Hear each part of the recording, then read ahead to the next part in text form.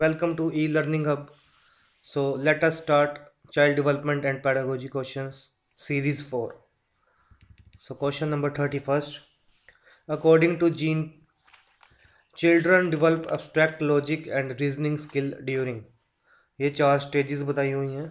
तो चिल्ड्रन जो है वो अब्स्ट्रैक्ट लॉजिक और रीजनिंग स्किल किस स्टेज में डिवेल्प करते हैं?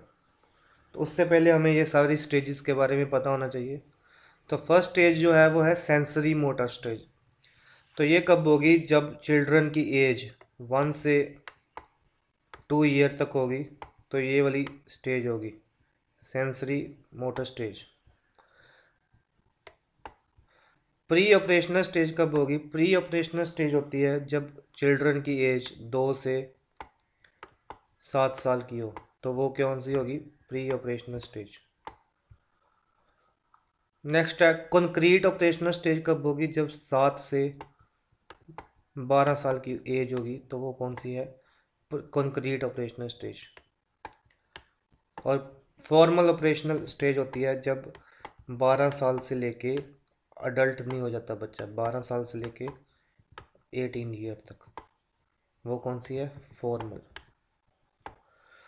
तो चिल्ड्रन जो है, वो develop abstract logic and reasoning skill इसका राइट आंसर है ऑप्शन नंबर सी चिल्ड्रन में जो रीजनिंग की स्किल कब आती है? जब उन, उनकी एज 12 से 18 साल होती है। ड्यूरिंग फॉर्मल ऑपरेशनल स्टेज तो ये आपने याद रखना। तो सेंसरी मोटर एक से दो साल प्री ऑपरेशनल दो से सात कंक्रीट सात से बारह और फॉर्मल बारह से अठारह। Next question the teacher studies people group behaviour mainly by which of the following method group behaviour को स्टडी करना है। तो क्या वो इंटरव्यू से करेंगे? या एक्सपेरिमेंट से करेंगे? एक्सपेरिमेंट से कैसे ग्रुप बिहेवियर स्टडी होगा? नहीं हो पाएगा। इंटरव्यू से भी नहीं हो पाएगा। ये भी गलत है। ये भी गलत है। केस हिस्ट्री स्टडी करके भी नहीं होगा। अब during only observation teacher can study people group behaviour observe करने से ही पता चलेगा।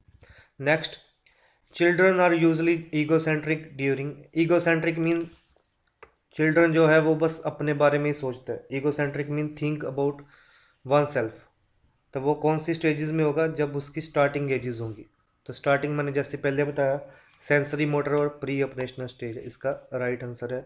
ईगोसेंट्रिक चिल्ड्रन होते हैं इस एज के दौरान। नेक्स्ट इनमें से कौन चाइल्ड का इमोशन इंडिकेट नहीं करता? बच्चा खुश हो तो भी वो उसका इमोशन शो होता है, दुखी हो तो भी क्रियोसिटी हो तो भी तो टॉलरेंस जो है वो चाइल्ड का इमोशन नहीं शो करता। तो इसका राइट right आंसर क्या हुआ? इसका राइट right आंसर हुआ option D next thirty first children are no longer egocentric when entering children कब ईगोसेंट्रिक नहीं रहेंगे? तो चिल्ड्रन जब कंक्रीट ऑपरेशनल स्टेज में एंटर करेंगे सात से बारह साल की उम्र में, जैसे कि मैंने पहले बताया तो वो ईगोसेंट्रिक नहीं रहेंगे। ईगोसेंट्रिक कब होंगे? जब वो ए और बी स्टेज में होंगे सेंसरी मोटर और प्री ऑपरेशनल नेक्स्ट इनमें से कौन सा एलिमेंट इंटेलेक्चुअल डेवलपमेंट का नहीं है? तो क्रिएटिविटी भी डेवलपमेंट का पार्ट है थिंकिंग भी डेवलपमेंट का पार्ट है इमेजिनेशन भी डेवलपमेंट का पार्ट है बट टॉलरेंस जो है वो डेवलपमेंट का पार्ट नहीं है।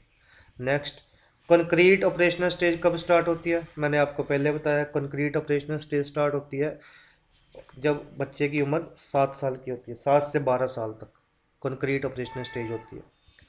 नेक्स्ट कौन से लर्नर जो एक्सेप्शनल कैटेगरी में नहीं आते? स्लो भी आते हैं रिटार्डेड भी आते हैं, जो कि स्लो लर्नर्स होते हैं। गिफ्टेड भी एक्सेप्शनल स्टूडेंट्स होते हैं तो इसका आंसर ऑब्वियस नॉर्मल ही होंगे। नॉर्मल लर्नर्स जो हैं वो एक्सेप्शनल कैटेगरी में नहीं आते। नेक्स्ट फॉर्मल ऑपरेशनल स्टेज कब स्टार्ट होती है? तो मैंने पहले बता दिया, ये भी फॉर्मल ऑपरेशनल स्टेज होगी जब 12 साल से 18 साल की एज होगी। तो एक बार जो है आप स्टेजेस सारी पढ़ लें। तो नेक्स्ट क्वेश्चन है, इनमें से कौन सा एलिमेंट नहीं है मास्टरी लर्निंग का? तो आंसर यहाँ पे पहले शो हो चुका है वैसे। तो अल्टरनेट टेक्स्ट बुक हम यूज़ करेंगे तो भी मास्टरी है लर्निंग में। अगर टीचिंग के अलग अलग मेथड यूज़ करेंगे तो भी है। चाइल्ड सेंटर्ड लर्निंग एक्टिविटी तो भी वो एलिमेंट है मास्टरी लर्निंग का ग्रुप टीचिंग इसका राइट आंसर है। I hope you like the video thank you